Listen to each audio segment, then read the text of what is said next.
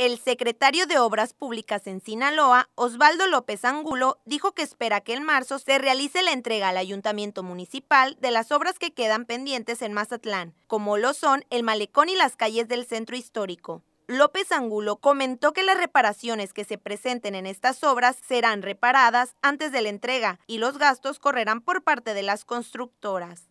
No, estamos ahorita en combinación con ellos, incluso traemos una jornada ahorita eh, a petición incluso de nosotros de, hacer todo lo que es las reparaciones correspondientes. Fue una obra, la verdad, que el objetivo era tenerlas listas para, para Tianguis y se cumplió totalmente para lo que fue eh, de inicio. Iniciamos al principio con la remodelación del centro histórico de 6, 7 calles y terminamos haciendo 35, 40, pero sin embargo son, son detalles menores que hay que corregirlos, son, son normales.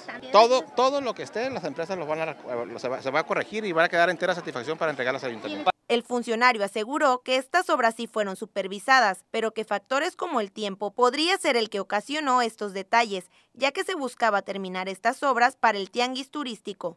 López Angulo informó que la deuda que se tiene alguna de las constructoras no afectará que realicen las correspondientes reparaciones.